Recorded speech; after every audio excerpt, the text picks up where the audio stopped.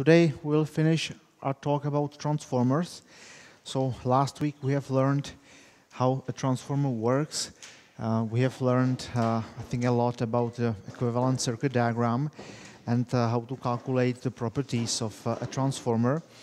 Uh, I have finished with this picture showing different transformer types uh, from small transformers, which you see over here, that we can use for home appliances, for example, up to large power distribution transformers, which you have an example over here. Uh, the efficiency of a transformer is very high, and uh, it is getting bigger with bigger transformers. So uh, the goal is to make the transformer for as higher power as possible, and then you have high efficiency. If you have a small transformer for a home appliance, it may have low efficiency compared to the larger ones. Uh, but even in that case, it may be like 85% roughly. Uh, if you are going for large power distribution transformers like this one or this one, uh, then the efficiency may go up to 99%. And uh, in fact, the transformer is one of the most efficient uh, devices in electronics. It's a non-rotating machine, so we don't have any mechanical losses, and therefore the efficiency is really high. Uh, today we'll be talking uh, mostly about transformer construction. So how is it made and what will you find inside? And uh, we will also discuss different types of transformers, such as uh, three-phase transformers, current transformers, and so forth. So let's start with the transformer construction. Uh, the transformer is made from basically two components.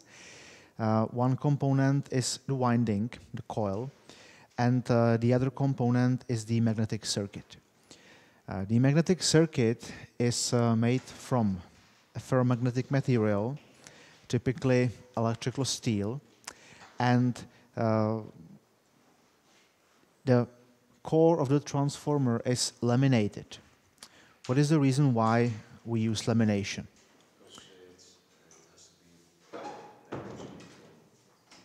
It is directional flow, but that's not the main reason why we are using laminations. For directional flow, we could also use a solid piece of material.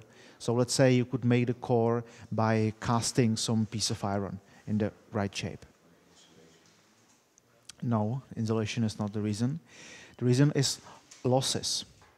Uh, when we have been discussing ferromagnetic materials, I told you that we have several components in the loss in, in the magnetic circuit. Uh, one of the components is eddy currents. And eddy currents are limited by laminating the core.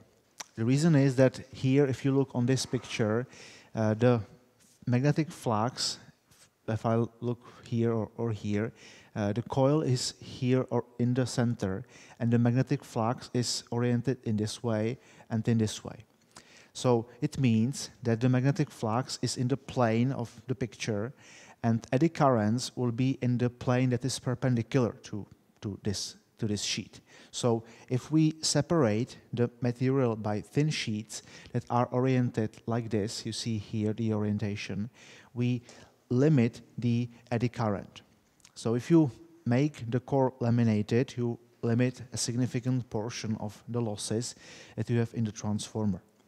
So this is an AC magnetic circuit. The magnetic flux is changing constantly.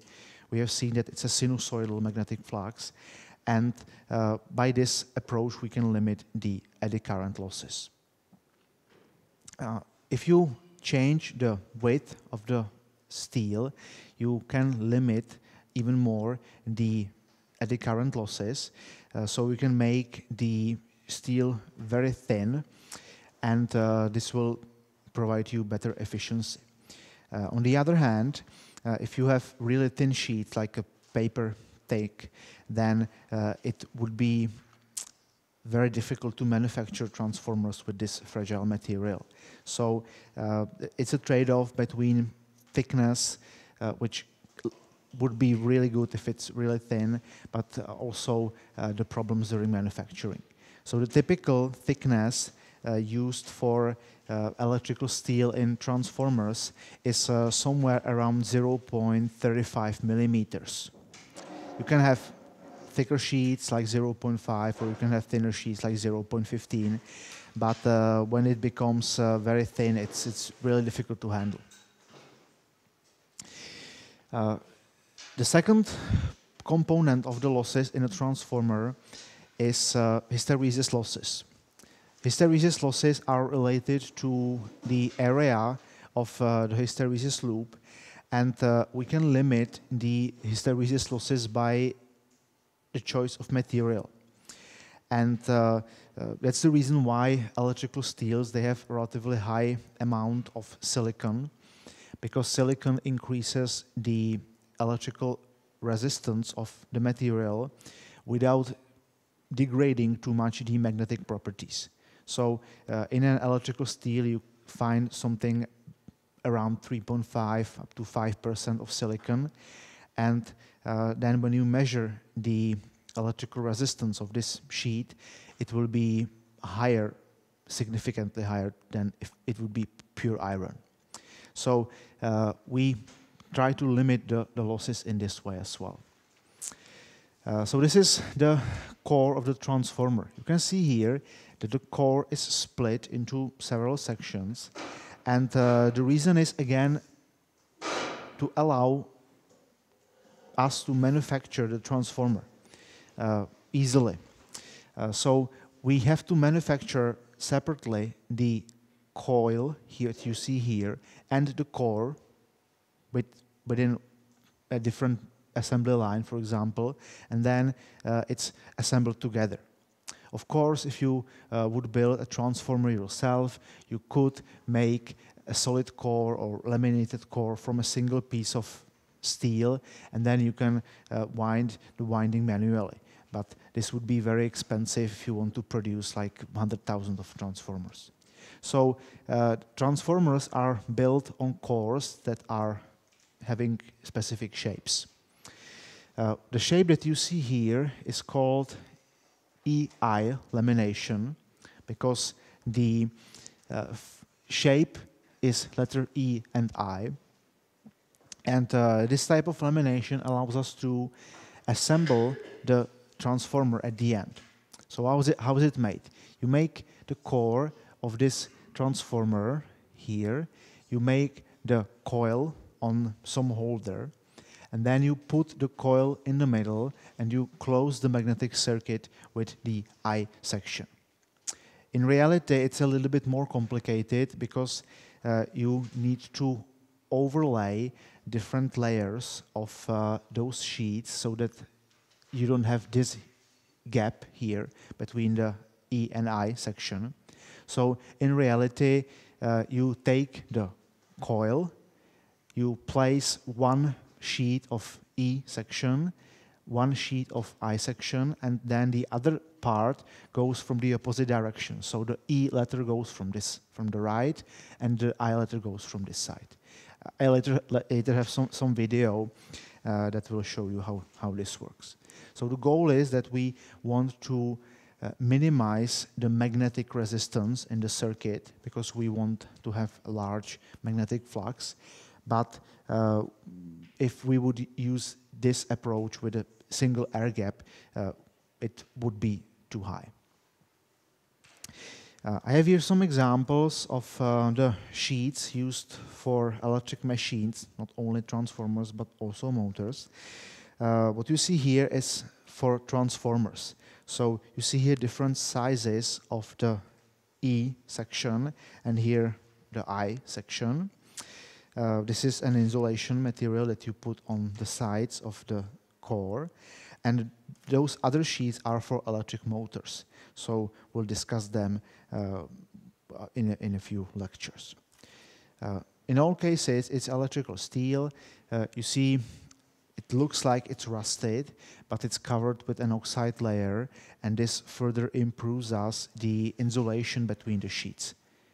If you want to improve the insulation even more, you can add, uh, for example, paper between the electrical steel or some other material like Kapton or Teflon. That depends on the temperature. but if you are adding more layers, uh, this will increase the size of the transformer. Uh, you can see here that we have different possibilities in lamination. So this is the most common one, the EI lamination, but you can find different types of laminations as well. Uh, I have here some example of a transformer. Uh, probably, probably we'll start with this one.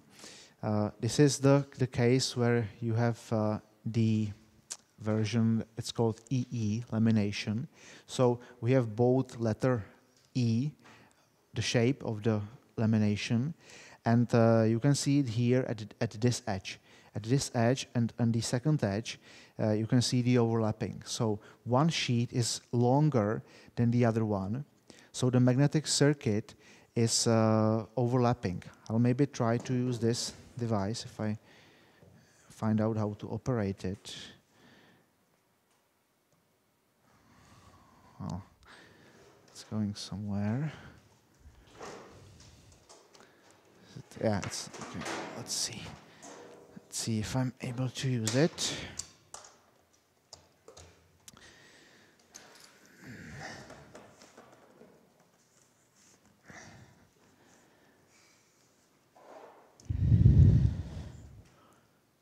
Okay, so I'm not sure if it will be visible here on this screen, but then I'll give it to you. So here in this in this position, you will see the, the individual sheets. Maybe just focus it a little bit. Let's put it closer. Well, that's the best I can do. So here in this central section, you can see that the sheet goes all the way here, and here the sheets are connected together and that they are overlapping like this. So one sheet is longer than, than the other one. So the magnetic flux, what is it doing in fact, is uh, going through the sheet, then, yeah, yeah, okay. Can you zoom even more? Ah, uh, uh, zoom, zoom it, and I'll try to, I'll try to move it. I'm not sure if it will be too really visible, but uh, yes, yes. You see here that the sheet goes like this, and then it's interrupted, and there is another sheet that's shorter. And the section that's right next to the first section is inversed. So here, this sheet is longer, and this sheet is shorter. So they are overlapping like this. So the magnetic flux, what is it doing? It's preferring the uh, way of least resistance. So if uh, it has the option, it will not go through the air gap, but will go through the connection between the sheets which are over, overlaid like this. So in this way, uh, we are assembling the core. So for example, uh, this transformer is assembled in a way that you manufacture the coil on the holder, uh, and then you put it on some sheets, and then from top you, put, you start inserting the other sheets and you build the assembly. We'll see that uh, on, on the video shortly.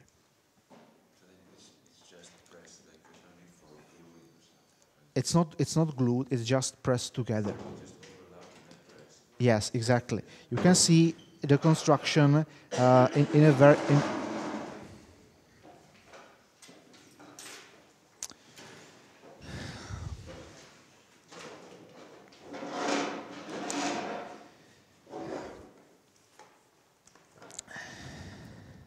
You can see the construction in a very good way on, on those transformers. Uh, you press the sheets together with some mechanics. So in this, you see it's just a screw and it's hold, holding tight with the screw. You can then insert it into some lacquer and protect it from moisture, uh, and it will hold even more this, uh, this pieces together. Uh, this type is, uh, it's not visible what core that is. Um,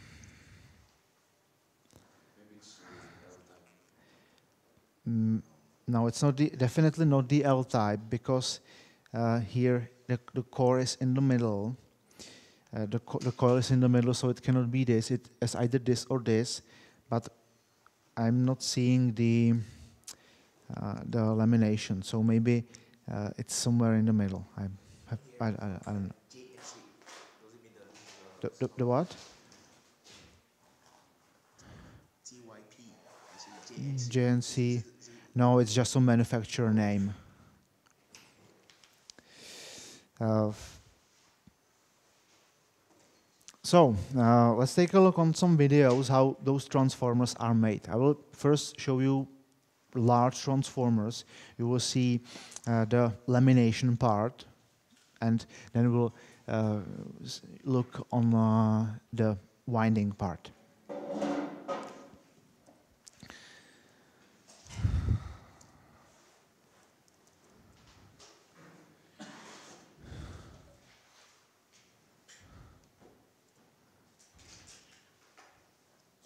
In best transformers, cold rolled, grain oriented electrical steel sheets are used in accordance with DIN 46400 norms.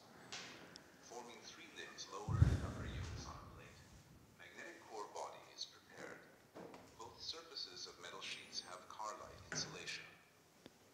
In order to obtain smaller no-load losses and no-load current, highly permeable silica sheets of suitable quality are processed in CNC-controlled machines. Measures are taken to keep the noise level below the specification requirements.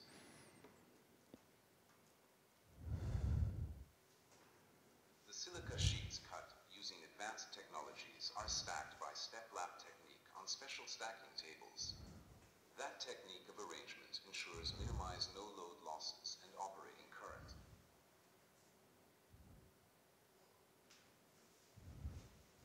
Now you see the overlapping here.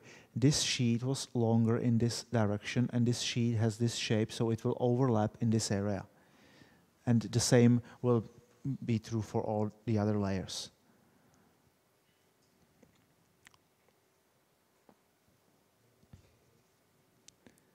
Special stacking table is erected with a crane and the core is prepared for assembly. Upper yoke is placed after the coils are fit and compressed with yoke plates. So now it's compressed together with the upper plates. With glass fiber reinforcement bands, homogeneous press force is obtained. Okay, and now this will be the Active parts in best transformers are Winding part. having highly permeable core, cold roll, grain-oriented electrical steel sheets.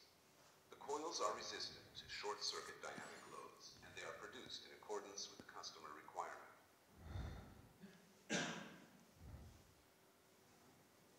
The active part is secured beneath the tank cover with steel bolts over the yoke wedges.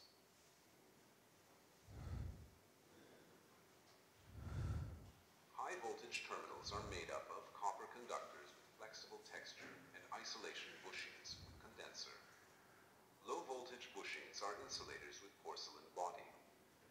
Using hot transformer oil resistant special gaskets provides sealing.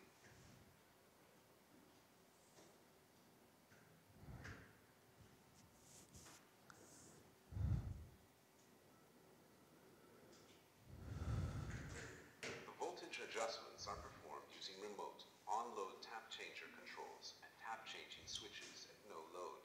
After the assembly of the active part is completed, coil drying process is applied in the furnace with 130 degrees centigrade kerosene steam under 0.1 millibar vacuum. In order to give strength against short-circuit dynamic loads, coils are pressed in the axial direction, all three phases, at the same time. After necessary mechanical compression is applied, active part is placed into the tank and oil is impregnated under 0.1 millibar vacuums. Okay, um, I'm not sure if this is a drying part, but let's see. Well, we can watch the drying part as well.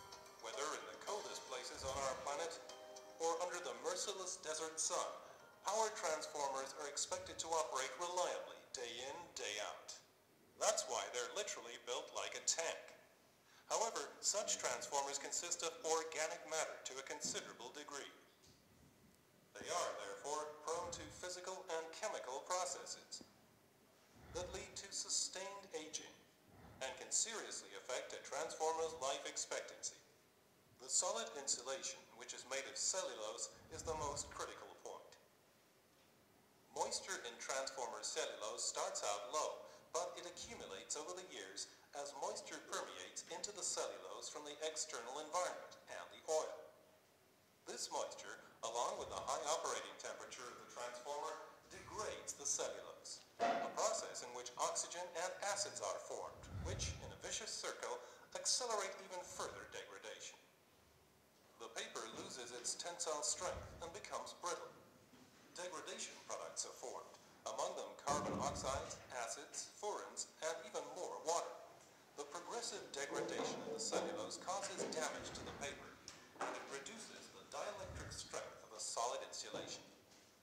The end of life of a power transformer is reached as soon as the insulation paper has lost 50% of its initial mechanical strength, a serious threat to costly transformer assets and the operability of entire grid sections. Siemens' unique high-quality Sitram dry solution averts moisture accumulation and cellulose degradation constantly and efficiently. After installation, which can be performed without service interruption, Sitram Dry constantly filters the water out of the oil. At the same time, moisture continuously diffuses from the wet insulating material into the dried oil, thus preventing further degradation of the solid insulation. This takes some time, but has decisive advantages over all conventional one-time methods like degassing and drying of the transformer. Without the application of Sitram Dry, the water content within a transformer rises with increasing age, and so does the transformer's failure probability. Timely and consistently applied, Sitram Dry reliably extends the lifetime of a transformer and increases the dielectric strength of the oil. Siemens Sitram Dry constantly keeps the moisture content of the transformer oil at a safely low level. This continuous process does not cause any downtime, as is usually the case with other methods like vacuum dehydration, which on top of that are significantly less effective. The filter cartridges can easily be withdrawn and replaced once they've reached the end of their capacity. Ingenious Siemens Sitram Dry stationary transformer drying system, which comes in a rugged and robust cabinet for extra protection, complete with a moisture monitoring module and an optional remote monitoring module, is also available as a frame version without cabinet. Okay, well, I don't think we need to listen to commercials, but uh, I will just show you more about the transformers. Uh, this is a, video about transformers.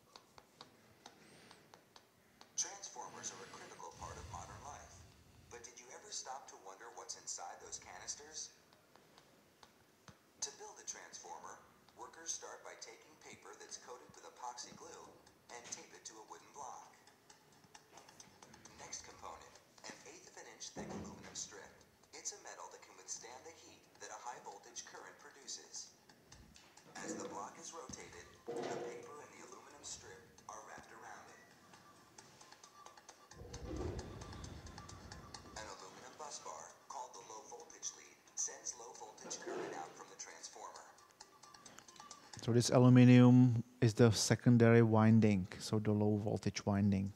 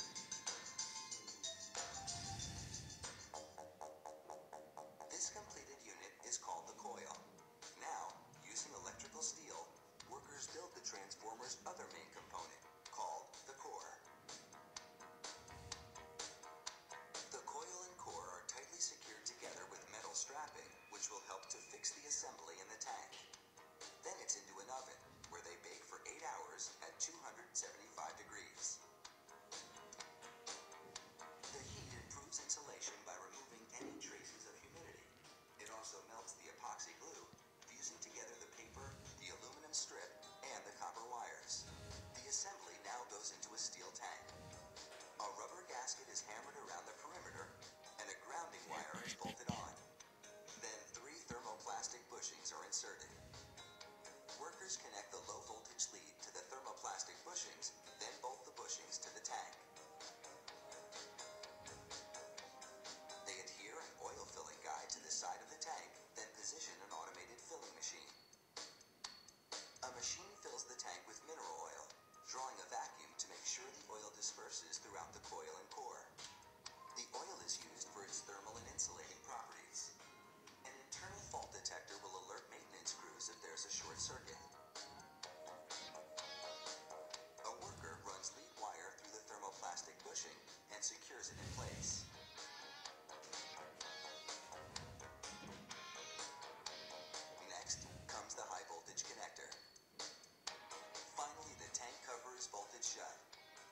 transformation, so to speak, is finished.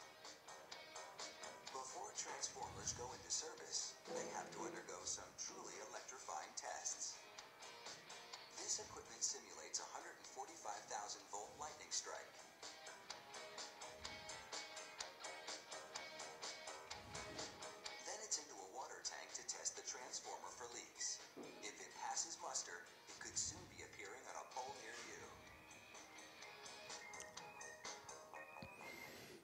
Okay, so that's the process of manufacturing a transformer.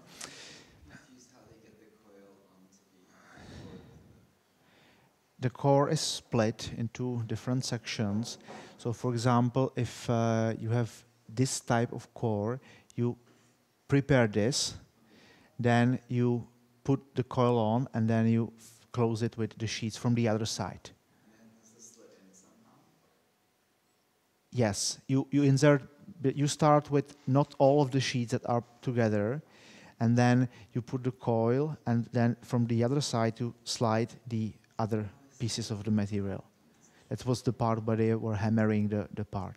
Or the second possibility is that you have uh, uh, the start with the coil, and they had the, the, the C type of core, and they were inserting the sheets from this from the sides. This was on the on the last video. Okay, so uh, now where can we find transformers? Of course, we can find them in uh, electric power distribution networks. So this is an example of a high power, high voltage transformer. Um, if you go to the link, you may find out the data, but this will be few megawatt ampere, for example, uh, where it transforms the voltage from the generators to a higher voltage then it's transferred, and then we have power stations with, which transfer it back again. Uh, so the power network has 230 volts here, single phase, or 400 volts, but the power distribution has um, typically 22 kilovolts. The reason is again losses. If you have lower current, you have lower losses. Uh, you can find transformers also in uh, virtually all home appliances, uh, where it takes the power supply voltage from the power network and transforms it to a lower voltage that you use uh, for a computer or for a TV. Uh, what you see here is an example of a small transformer like this, which is in a small power supply. Uh, today, uh, many of the devices that you power such uh, as um, computers, for example, they have transformers as well, but this is not the transformer type that you see here. I'll be talking about it in a few minutes. So older power supplies used transformers, they look like this, and then uh, you had the transformer, you had a rectifier, and you had some smoothing capacitor. So uh, at the output, you had a DC voltage that you used to power the device. Uh, the advantage of this is that it's really simple. You just have a transformer, you have four diodes and a capacitor, and, that's it.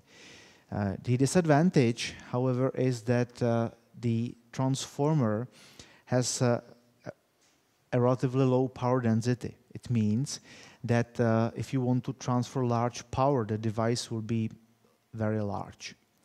The reason is frequency.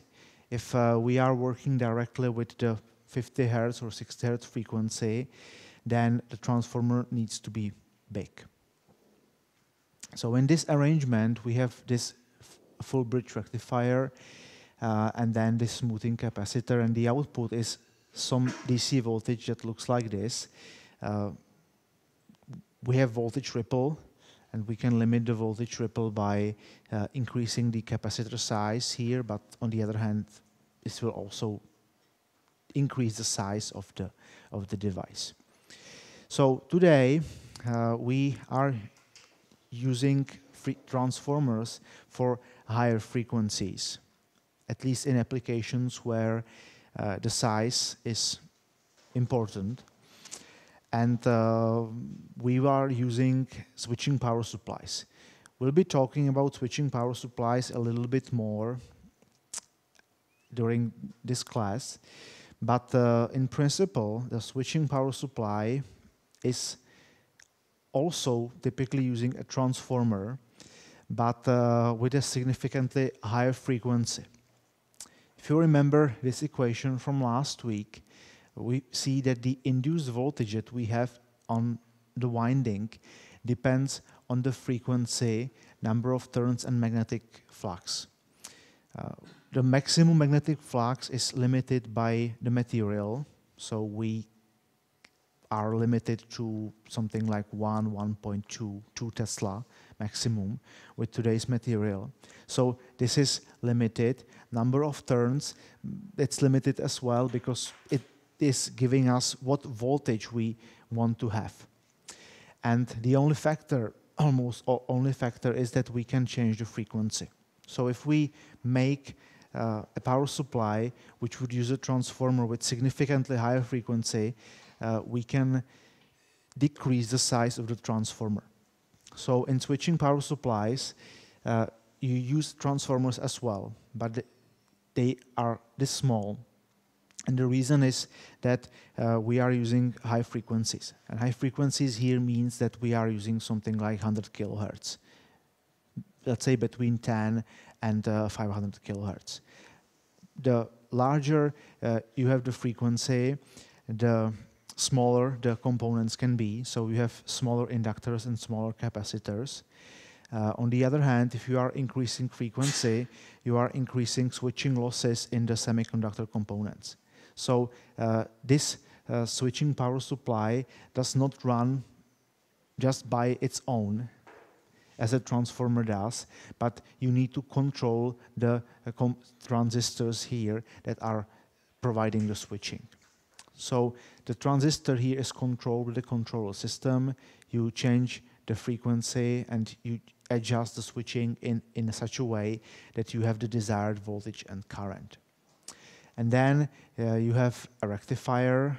Typically, it's a, a one-way rectifier with one diode, and then you have a capacitor that smooths out this voltage. So this is typically used in uh, power supplies for PCs, in chargers, uh, virtually everywhere today uh, where you require high efficiency and small weight. On the other hand, it has negative effects as well on the power network because here this voltage is DC and if you want to obtain DC voltage, you basically use this diode rectifier. So you take the power supply voltage from the power network, you rectify it, and you ch are charging a capacitor somewhere. And uh, this has the effect that the current that you take from the power network is not sinusoidal. So today, unfortunately, most of the loads that we have in the power network are taking non-sinusoidal currents which has effect on uh, efficiency, and it has effects also on um, uh, on uh, electromagnetic interference. So uh, if you today look with an oscilloscope on voltage or current in, in the power network, it will most likely not be sinusoidal, especially in buildings like this where you have uh, hundreds of computers. And this is an example of a PC power supply which basically works in the same way. So what you see here are the inductors, and uh, somewhere on this heatsink you will find those, those uh, transistors that provide the switching. Uh, the switching frequency in this case is uh, roughly around 100 kilohertz. Uh, the more modern components you use, the higher the switching frequency. So the components, they become larger, but uh, you are increasing the losses on the transistors. So you need to use different types of transistors. There is constant development of, the, of those components. So those are small appliances. Uh, for large appliances um, and for three-phase, we obviously have to work with a three-phase transformer. Uh, a three-phase transformer, you can imagine it like three single-phase transformers that are in one device. In fact, you can connect three single-phase transformers and make them work as a three-phase device. But uh, we can save some material.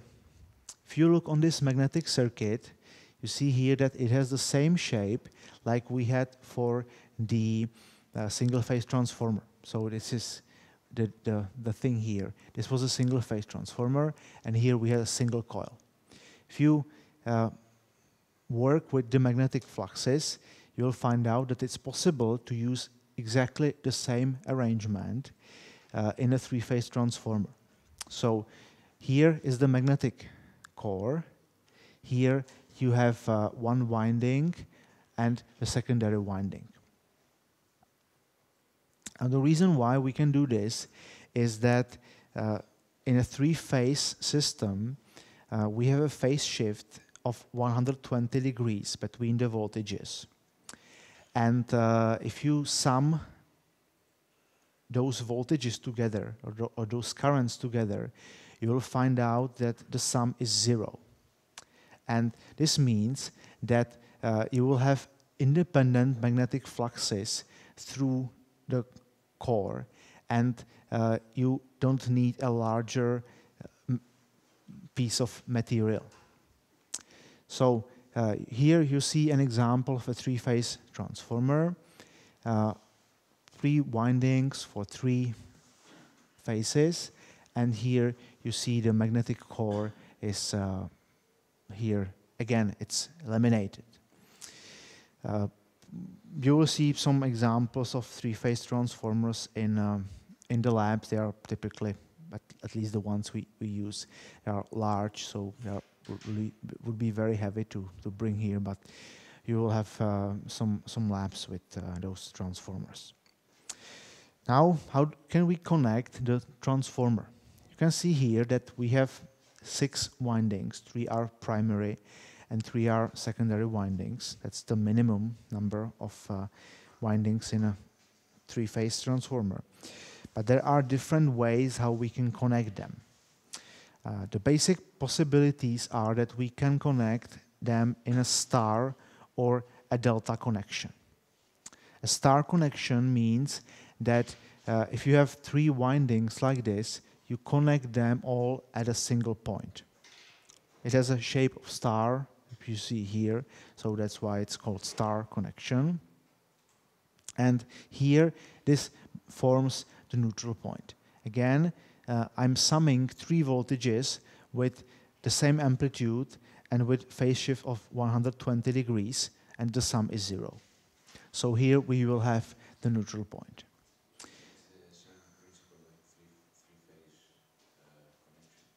Yes, yes. Uh, the second option is that you connect them in a delta connection. And in delta connection, uh, you connect two coils together like this. So this means that you do not have any common connection, any common point. Uh, and we can combine it. So for example, uh, we can connect the transformer on the primary side in a star connection and uh, we can connect that in the delta connection on the secondary side, or vice versa. So this depends on the properties that we require from the connection. Some connections, uh, they are good to suppress the third harmonic component, which is created by electric motors, for example. Uh, some are good for other reasons. So what you see here is uh, the star-star connection. That's just an example. And you see here that the primary winding is connected in a star connection, and the secondary winding is also in a star connection. So this is made as a three uh, single phase transformers, but it's exactly the same thing like for three phase transformer. And you can see here that in this example, they are working with a 10 to 1 turn ratio. So uh, they are transforming the line-to-line -line voltage of 100 volts to a line-to-line -line voltage of 10 volts. This is just an example. You may use any other ratio that you require. Uh, in many applications, it is necessary to connect transformers in parallel. The reason for parallel connection of transformers is efficiency. Uh, if you use a trans well, transformer, let me go back to last week, where we have seen that uh, the efficiency of a transformer uh, depends basically on how much you load the transformer, and that the efficiency is best around the nominal point. So if you do not load the transformer to a nominal point, it has very low efficiency. In other words, if uh, I have an example of uh, a power network, then if I have high load, I will need a large transformer. But if I do not take all the energy that I have ordered, I will have low efficiency. So in many cases, it is good to have two transformers in parallel. One transformer will be designed for large loads and I will use it in instance when I have large demands and the other transformer is designed for small loads, let's say 20% of uh, the large transformer. So if the load in the power network is slow, I will use a small transformer. I will be near its nominal point, so I will have large efficiency.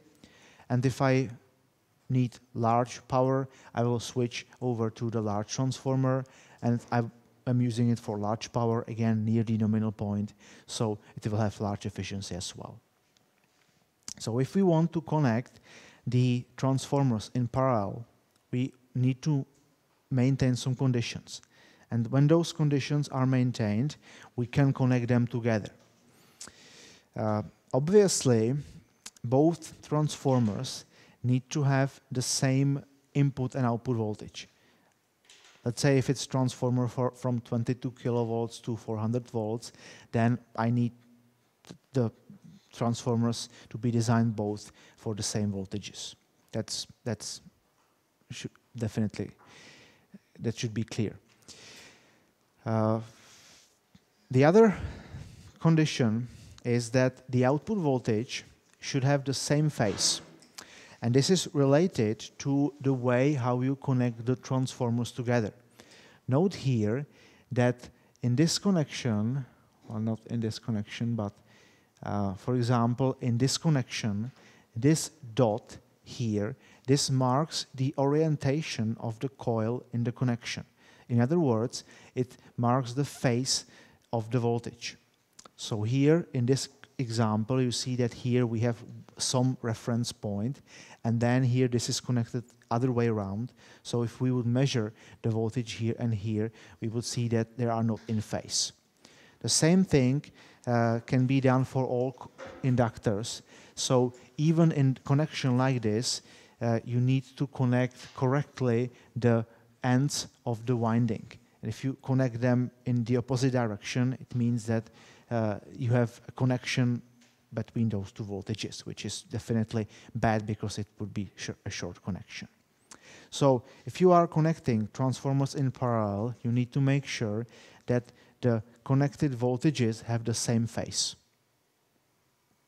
And the, last condition is related to the behavior of the transformer in operation. And uh, this is expressed by the per unit voltage, which we have discussed last week. And the per unit voltage is basically saying us what is the voltage drop of uh, the transformer when I load it. So if you plot a chart like this, where this is current and this is voltage on the transformer, you will see that when I am increasing the current, I am dropping the voltage. In other words, the higher the current I take from the transformer, the smaller the voltage. And if the transformers should work in parallel, this has to be the same for both transformers. So I need to load them both in the same way. I can't uh, use a transformer which has a different per, per unit voltage. A per unit voltage is basically saying us that, that both transformers have the same impedance and when I load them, uh, they will be behave in the same way. They will follow both this same curve and even if they do not provide the same current, then the voltage is the same. The reason is that uh, it's like if you have two batteries you connect two batteries in parallel, and if they don't have the same voltage, there will be current flowing between those two batteries, which is definitely bad. And the same thing would happen also for the transformers. So the reason for this is that we have the same voltage on the transformer output, and there is no current flowing between them, the only current is going to the load. Any questions so far? Okay, so um, in the remaining time, we will discuss special types of transformers that you may encounter also in, in our labs. Uh, one of the special transformers is called an autotransformer. An autotransformer means that you have just a single winding. So uh, you have one winding like this, the primary winding, and then the secondary winding is just the part of the primary winding. In other words, there is a direct connection between this primary terminal and between the secondary terminal. And the only way that's separating them is this part of the winding. Now the advantage of this auto transformer is that you basically save one winding, you save the copper. So you have just one winding and you, don't, you are saving this part. On the other hand, very big disadvantage is that you have direct galvanic connection between those two terminals. Auto transformers are typically used to set the voltage. So we will use them in lab classes uh, to adjust the voltage that we want. Uh, it's very easily done with a transformer of this kind because when you move this connection, you are basically changing the ratio between the number of turns. So here you have some turns on the secondary side and some turns on the primary side. And if this is a slider, then you can very easily vary the voltage. An auto transformer typically looks like this. It's a toroidal transformer. So uh, here you see the toroidal winding. The core is a ring, a toroid. And then uh, this is the handle, and when you move it, you are changing the ratio between number of turns. So an auto transformer is a device that allows you to change voltage very easily. The second type of transformer that I would like to discuss is a so-called current transformer. And a current transformer is a device that you use to measure AC current. It is a transformer because it has, again, two windings, primary and secondary. The primary winding is typically the wire or the conductor where you want to measure the current. So it can be some, some wire that is going to a machine, or uh, you can use it uh, to measure current in the power network, for example. Uh, the advantage of the current transformer is that you are completely separated from eventual high voltages. So this primary current may be happening on a high voltage line, and here you can easily look uh, on the ampere meter, you can work with this and you are not directly connected with this high voltage line. How does it work? It works like a transformer. So here, this current in the primary winding, the, the wire, will create a magnetic field around it. So there will be a magnetic field around this wire. Here we put the core around the wire and we put a secondary winding, which is here. And uh, we are able to measure the induced voltage in uh, this secondary winding. It's a current transformer, so uh, we are looking for current in the secondary winding. So here there is an ampere meter, and note that here this is basically a short connection. An ampere meter has a very low resistance, so there is a current flowing basically in the short connection. The ratio between number of turns on the primary and secondary side uh, can change the range.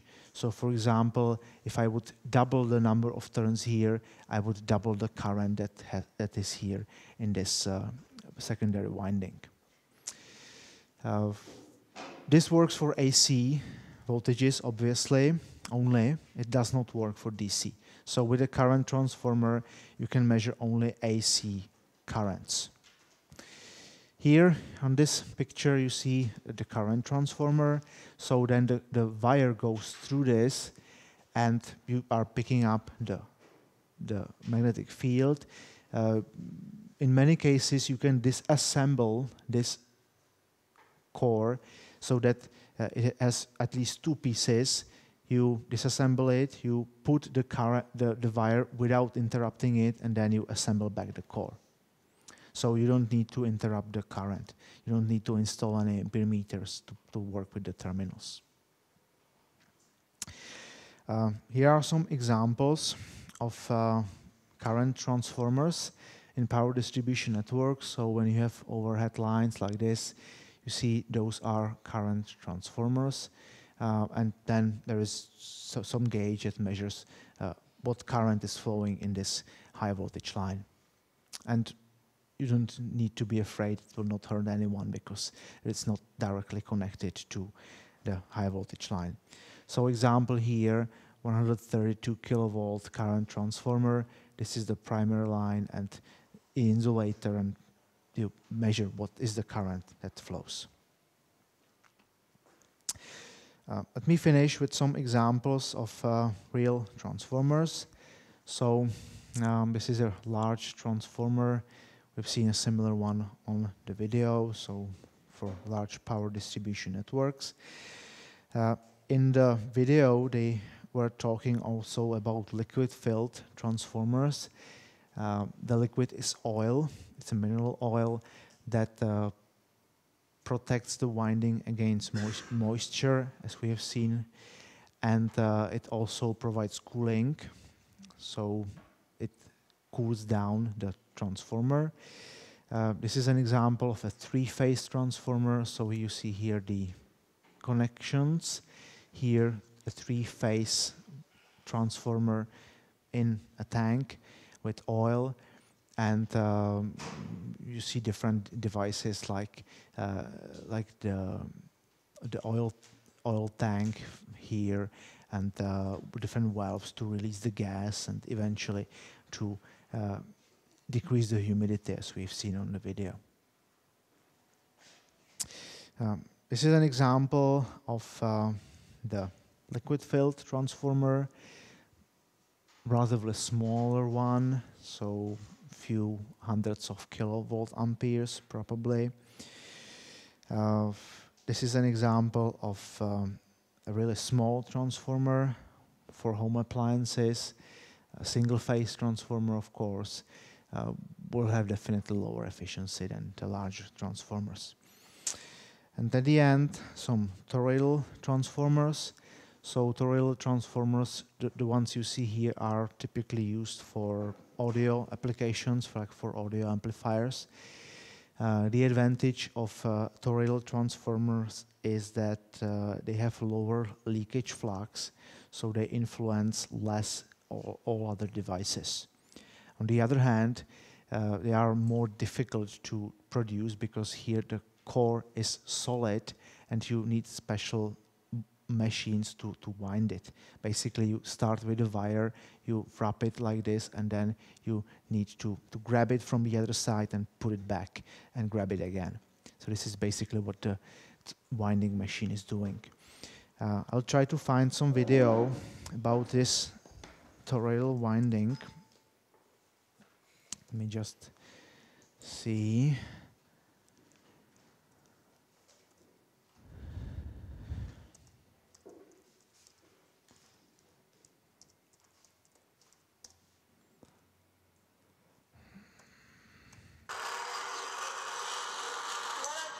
Ah, so winding machine starts with the core, which is uh, which is here, and then they will insert the wire, and the machine basically grabs the wire from the other side uh, and moves it through it.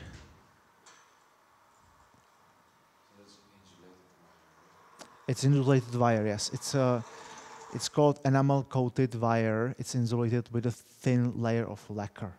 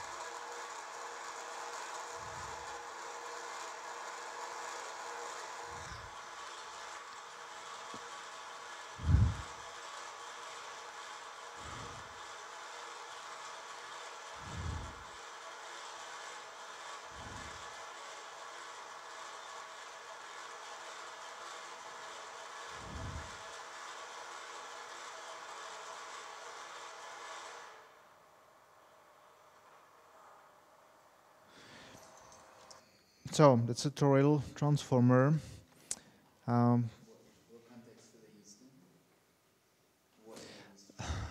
let's say better transformers, I would say, with lower leakage fluxes and lower influence to all other devices.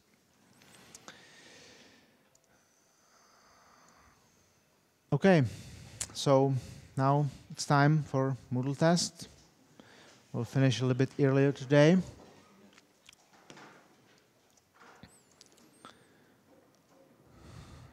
So it's called lecture test questions for lecture five.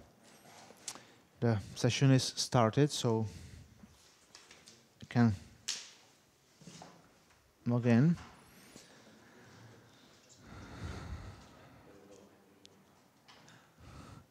Uh, I wanted to say, maybe you noted that on the on the video, the core of a toroidal transformer is not laminated. It's not steel. Typical material is amorphous iron, which is like small grains that are sintered typically together. So it has better properties, uh, like for high frequency applications. In the toroidal one. Yes, that was insulating the wire against the core to provide short connection. Mostly not, but it can be also. Typically, it's like Teflon or Kapton plastic. It actually depends on the temperatures where this should work. Uh, typically, electrical machines are designed for temperatures somewhere between 120 and 180 centigrades.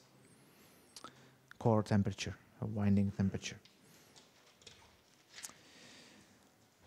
So, are you ready? Lecture 5, yes.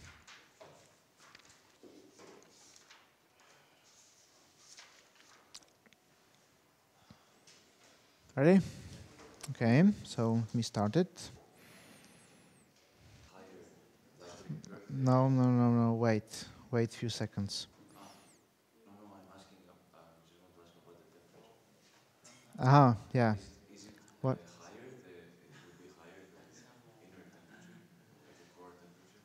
If it would not be laminated?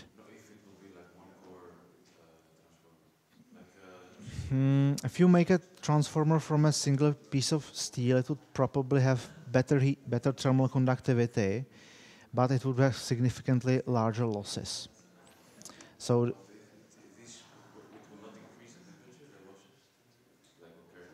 It will, it will, because if you make larger losses, you input larger amount of power that you need to cool down.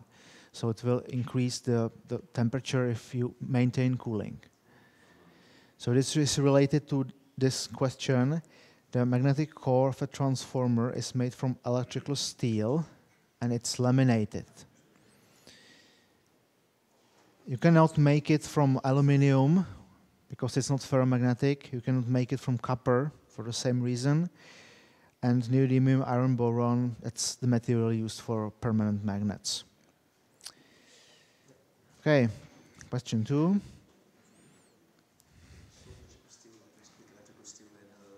Electrical lamin steel laminated. Laminated, yeah. You need to read all the answers first.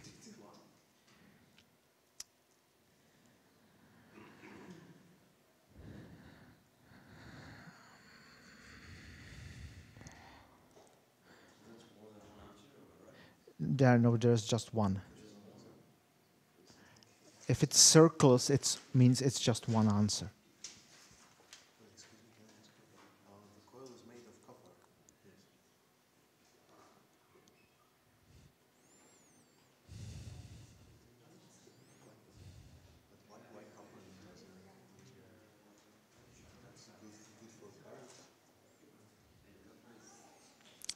copper copper in the transformer is the winding and the reason why we use copper is that it has the best electrical conductivity apart from uh, silver which would be really expensive. Uh, so here uh, the purpose of core laminations in a transformer is to decrease eddy current losses. Okay? Question three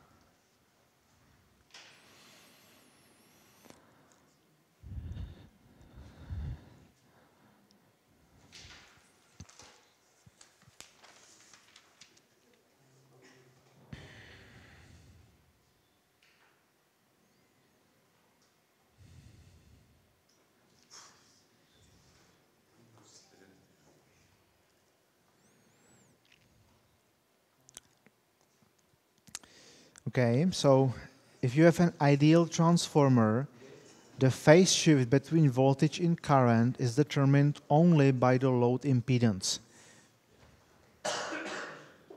and last one.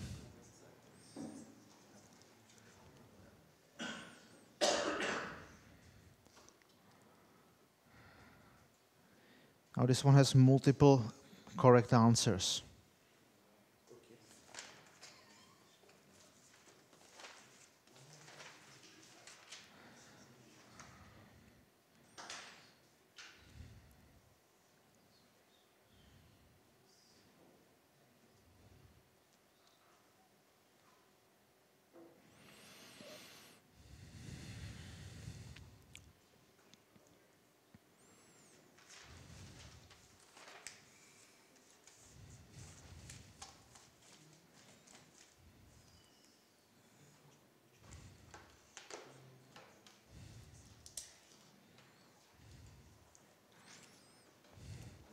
Okay, so um, if you want to connect more transformers in parallel, you need to have the same input and output voltage.